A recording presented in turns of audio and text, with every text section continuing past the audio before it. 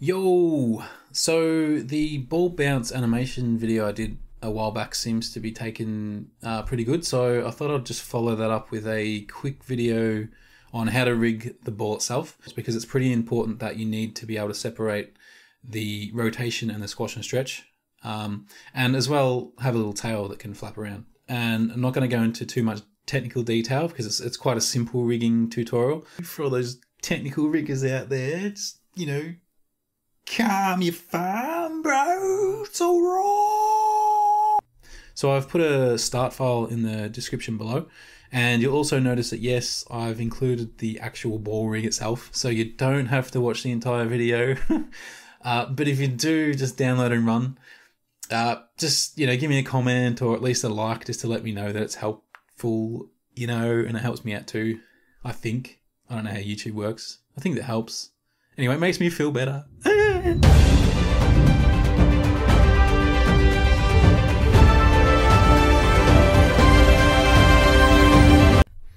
All right, so here's the start file. You notice I've already got the ball mesh in here. Uh, and I've got these objects here. So I've already sort of gone through and skinned the tail to the joints. Uh, so if you expand here, you can see if I grab a few joints, uh, this will actually deform the tail. Um, so what we'll do is we're just going to hide the tail for now. So you can see I've got the tail group here. Just hide that for now and we'll, we'll work solely on the ball first. Um, so what you want to do is just grab these controls and we want to put them in place. We want to match this to the bottom of the ball. One way to do that, uh, to get it precise, is we can actually hold X on the keyboard and now it's going to snap it to the grid. So I can just snap it straight to the center there and that's done. Uh, and now with the squash and stretch controller, um, I want to do this, uh, I want to put this in the middle of the ball. So what you can do is, is you can grab the squash and stretch controller first, hold shift, select the ball, go up to modify, choose match transformations, and you can do match all if you want but I'm just going to do match translation, which will basically just put the same um, translate point at the ball's translation point. All right, now I'm going to grab the rotate control and I'm just going to sort of move that. Um, let's do a similar thing. So what I'm going to do first actually is I'm going to just I go into rotate mode and I hold down J and then start rotating it and you'll see it snaps. Uh, and so now we've just rotated 90 degrees, which you can see here. Uh, and now what I'm going to do is I'm going to do the same thing. So while that's still selected, I'm going to hold shift, select the ball mesh, go to modify, and I'm going to go match translation. And now that's going to put it in the same spot as the ball. So if I go to wireframe, you can see that that now lives inside that ball. Uh, and the position, the pivot point is matching the ball as well. But we actually want this, um, the icon of this to be up here. So if I was to just move this up now, um, it's going to move the pivot point. So we want to remember we're going to keep the pivot point down here. So one easy way to do that once you've got your shape in place um, is you can just go hold right click, go to control vertex mode, and now I'm going to go up here to choose component only, select all the points, and now just simply move these points up. So that's just moving the, the control points, not the actual object. So if I go back to object mode now, um, you'll see that I haven't actually moved the pivot. The pivot stayed exactly where the ball is, but the shape is now up here. Now we've got all these in place. Uh, we want to zero these out. When we're animating, if I was to now move this animator, if I want to zero it back to its original place, um, if I just grab all these and choose zero, it's going to go somewhere else because this is where its original place was zeroed at. So if I undo that, put it back where we want it, now I'm going to zero this. So I'm going to grab all these controls and I'm just going to go up to go to your poly poly modeling tab scroll over to these shortcuts and you see this one on the end here is called freeze transformations just click that and what that's going to do is now you'll notice on this object these are all zero now um, so if I was to move this I can simply just reset it by choosing zero and it's going to go back to the initial starting point. point and that'll happen on all these controls now so now we just want to set up some relationships so one thing we can do is we can do a direct parent. So I can grab the move control down here, and this is going to move the translation of our ball. So because the squash and stretch and the rotation, we want them to go with our movement, um, I can simply just parent these controls to the move control. So I can grab this one, then hold shift and select the squash and stretch controller, And if we want, we can go in the outliner here and I can just um, hold middle mouse and drag that onto the move control. And you can see now that these are now children of the move control. So if I grab the move control now and move this, um, they're moving with it. Now we want the ball mesh to follow this move controller. So uh, one thing we could do is we could just select the ball mesh and I could uh, drag that onto the move control as well as these other controls. But the problem we have there is if I grab, say, the move control and I press uh, H on the keyboard, it's going to hide everything underneath it. So sometimes we want to um, only see the mesh but hide all the controls. If we have everything in the one hierarchy, it's going to make that really hard for us. So um, instead of directly parenting it, what we can do is we can use constraints. Um, so if I go to the um, submenu over here and choose the rigging submenu, now we've got a constraint menu up here. And if I click on that, you'll see we've got a whole bunch of different constraints. So what I'm going to do to keep the ball mesh following just the translation of this translate control, the move control, I'm going to first select the parent object, which will be the move control, then hold shift and select the mesh. I'm going to go up to constrain and I'm going to choose point. So point will only inherit the translate. So I'm going to go to the options for that and just give it a quick reset. And I'm just going to click maintain offset and click add. So now, if I grab this um, control here and move this around, you can see now the ball will follow that controller, but it will remain outside of the hierarchy. So now we basically want to set up uh, our rotate control. So if I click on wireframe shaded, so with this, I'll select our uh, rotation control, then I'll shift select the mesh, I'll go up to constrain, and I will choose orient uh, options. Now let's just give it a quick reset uh, just leave maintain offset on and go add. So now uh, this should rotate with our rotate control. Now our squash and stretch control um, is going to be a little bit different uh, because we actually want to use a deformer for this. Um, so what I'm going to do is I'm going to select the ball mesh and I'm going to go up to the deform tab, go down to nonlinear and choose a squash deformer here. Now this is going to add a squash handle, which you can see over in the outliner. And if I scroll down in the attributes, you can see that we've got a factor here. So if I select that and middle mouse drag, you can see that now we can adjust the squash and stretch of our ball. Um, but that's happening from the center of our ball. So it's easier for us to animate if we have one side that it squashes from. So we can have it from the top, the bottom, or, or either the side or anything like that. Um, for now, we're just going to choose the bottom, which um, just makes it a little bit easier to understand. So what I'll do is I'm actually going to move the, um, so go into translate mode and we're actually going to move this deformer all the way down to the ground. So I'm just going to go up and type zero on the y-axis. So now it's definitely on, on the bottom of the ground. And now we want these, the low bound and the high bound to go back to the outsides of the ball. So I'm going to scroll down again to where we've got these low bound and high bounds. And I choose the low bound to zero, which will set the bottom back to the bottom of the ball. And I'm going to make the high bound set to two and that's going to put the high bound back to the top of the ball. So now if we go to the factor, it's going to now squash and stretch from the pivot point which we placed at the bottom of the ball. Now what we want to do is we want to actually make this squash and stretch deformer follow our squash and stretch controller. So again, I'm going to choose the squash and stretch controller first, then hold shift and select our deformer. Now I'm going to go to constrain and I'm going to choose parent options then go to edit, reset, and just make sure maintain offsets on, and just go to add. And now what's going to happen is um, this deformer will now move with our squash and stretch controller. So if I go here to the factor and just give that a little bit of squash and stretch, I can now um, control the direction of that squash and stretch by using the squash and stretch controller, just like this.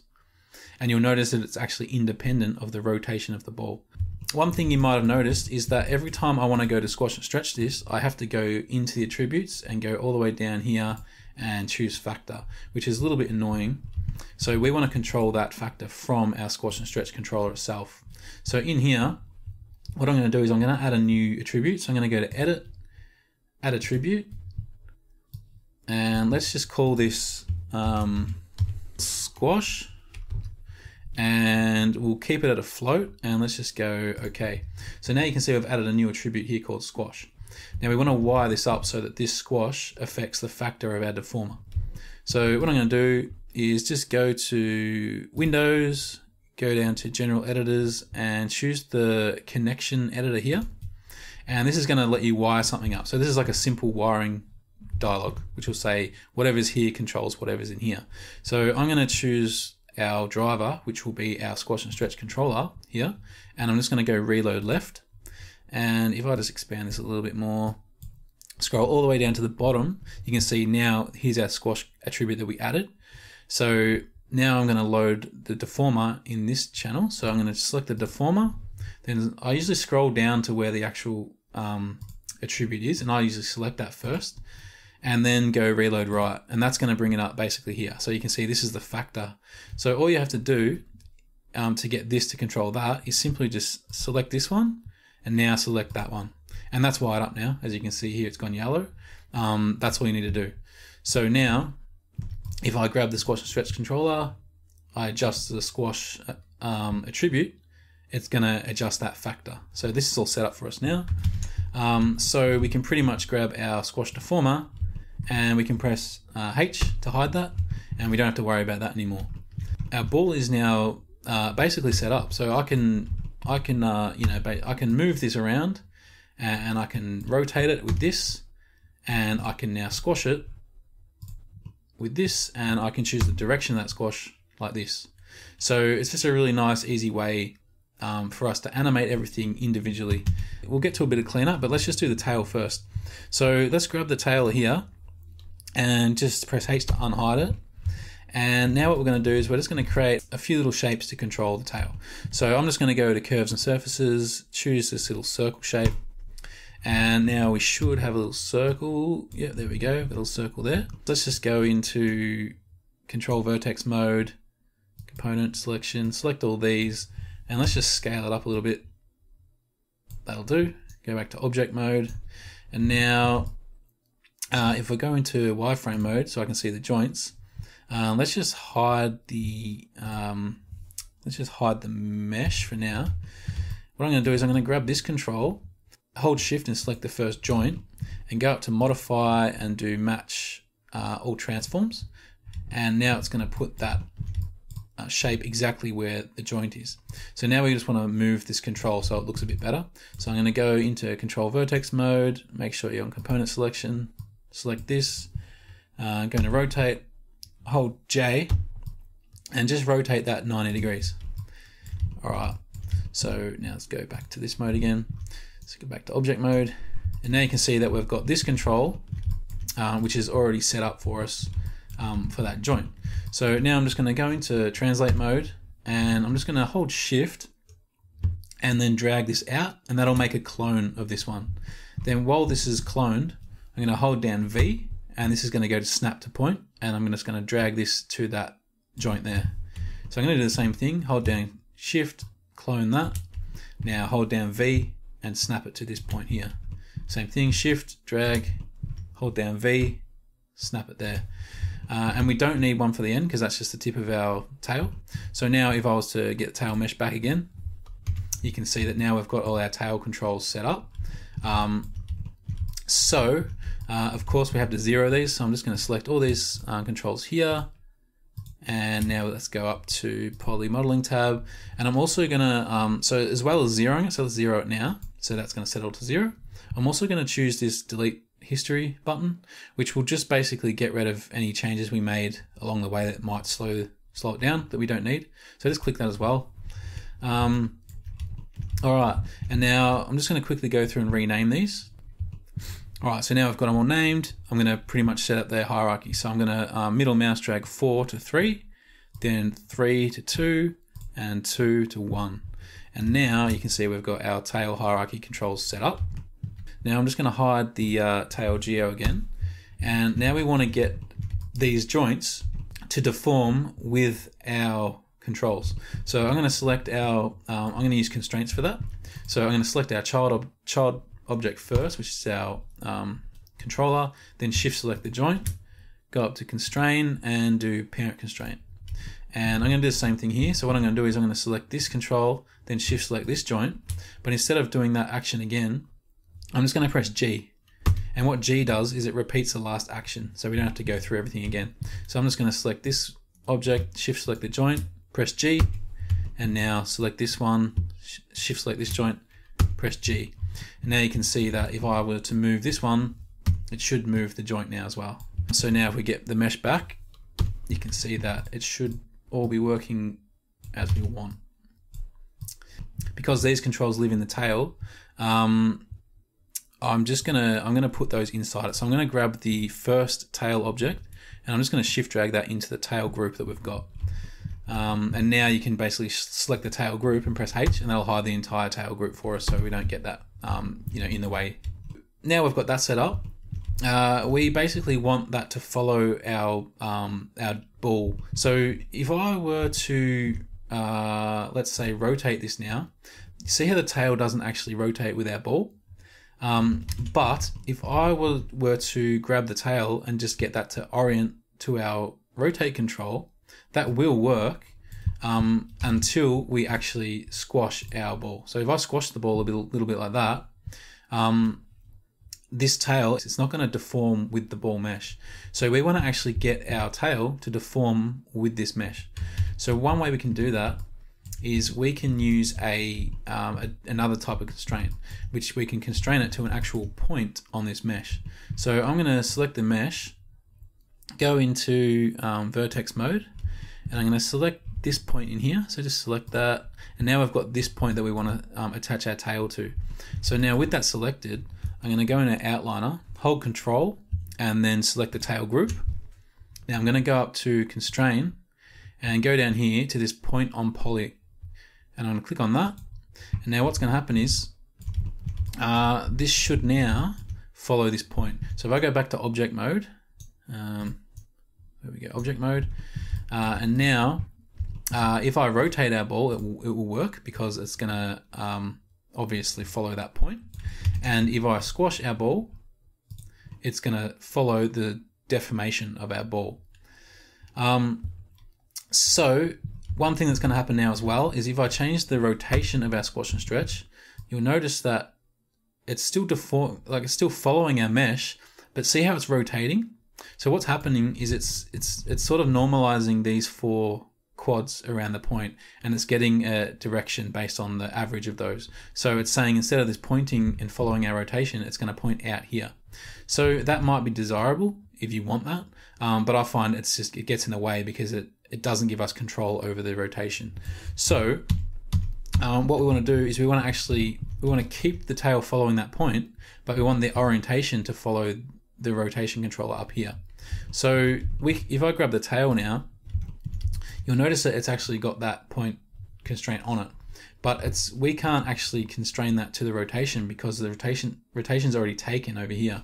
So before we do that, we have to just um, so just shift select all the rotation values here right click and go down to break connections. And what that's going to do is that's going to keep the translate to the point, but it's going to free up our rotation. So now we can grab our rotation control, then we can control select our tail group, go up to constrain and choose orient.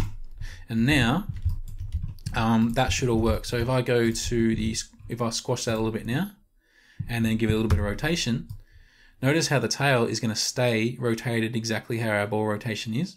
So now it's only going to rotate with our ball um, like this. Um, so now everything will just work exactly how we want it to. Now we just have a little bit of cleanup and stuff we can do. So um, one thing you might want to do is with the controls, um, you might only want to, so if I grab this control down here and I move this around, this is fine. Uh, but if I then go to rotate it, you'll see that it all goes all fucking stupid all of a sudden. Um, and that's something we don't want. And likewise with our, say, squash and stretch control, we don't want to be able to move this around and we don't want to be able to move this around. We only want these controls to do what they're intended to do. So I'm going to go to the move control down here. And over in the um, channel box, we can um, grab all the controls we don't want. So I can hold um, shift and choose our, all our rotate and scale options. Right click and go lock and hide. And now it's only going to show us our translation. So if I try to rotate it now, I actually can't. Um, and likewise with scale, it won't let me. So that just allows you to not accidentally break the rig or do something you don't want to do. Um, if, you, if you ever want to get those back, you can just go to edit, go to channel control, and we can simply choose these. And, and if I select these now, I can move these back into here. And same with locked, I can grab these, move them back into unlocked. Um, so let's just quickly do it with the squash and stretch. Um, we don't want to translate this and we don't want to scale this. So I'm just going to hide those. So lock and hide. And with the rotate control, uh, we don't want to translate and we don't want to scale. So I'm just going to right click and go, uh, where is it? Lock and hide. If I were to select just say the tailbone here and just press H, that's going to uh, hide all those bones. If we want to go through and animate this ball, um, if I select all the controls like this and just press S to set a key, um, this is actually not what we want because this is going to key not just our controls, it's going to also key the mesh, which can give us problems later on. So one thing that you might want to do is once you've set this up, you might want to lock the mesh. Um, so if I grab the mesh now, go to the attribute editor, go to the first tab, um, and then go to display, go down to drawing overrides, we can enable overrides and then set it to reference mode. And that's going to make it so we can't select it in the viewport. Um, you can still select it in the outliner, but you can't select it in the viewport. So let's do the same thing with this tail. Enable overrides, choose reference. And now you'll notice that if I want to select all, all the controls, I'll just make a selection and only the controls will now be selected.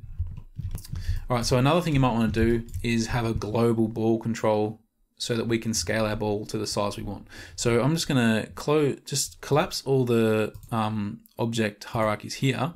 We want to put all these into a group. So with nothing selected, if we go up to edit and then say group, what it's going to do is it's just going to make an empty group at the origin of our scene. So now I can rename that to ball and I can grab all our ball objects that are related to the ball and I can simply middle mouse drag that into our ball group and now we've got one global control um, that will um, allow us to scale our ball. So if we bring this in, we can scale this up, and now we can start animating our ball um, how we want it. Um, so you might want to animate a basketball or a marble. Uh, we can now do that with the ball group. If you want to, want to animate just the ball and not the tail, we can make a control to turn that on and off. So if I go to the main ball group, I can go to edit, add attribute, call this um, tail. And we'll set this to a boolean, which basically means on or off. And I'll go OK. Now if we scroll down, you can see now I've got the tail. We can wire this up the same way we did before. So let's open up our um, our connection editor.